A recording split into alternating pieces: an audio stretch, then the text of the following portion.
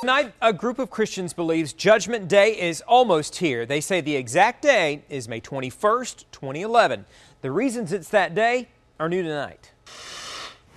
May 21st, 2011. It's the day that Harold Camping of FamilyRadio.com says will be Judgment Day. Spokesperson Tom Evans. That we believe that God has built into the Bible a timetable of events. Tom says Harold Camping has been studying this since the 70s and has come up with May 21st using math through signs in the Bible to explain the day. The group is starting a national movement. On its website, it even shows trucks and billboards. It says this one is in Oklahoma. Family Radio's Tom Evans told me it was there in June of last year on Highway 41. It says Noah knew. It took them 120 years to build the ark.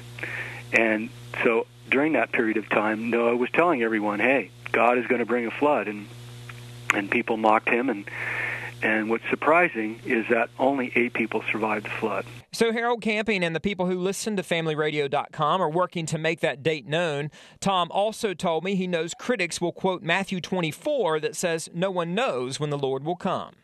Even though he does say in the Bible that no man can know the day or the hour, he doesn't say he goes on to say, or he doesn't say, that even though God the Father is the one that knows when Christ will return, that God will tell his people what he's going to do.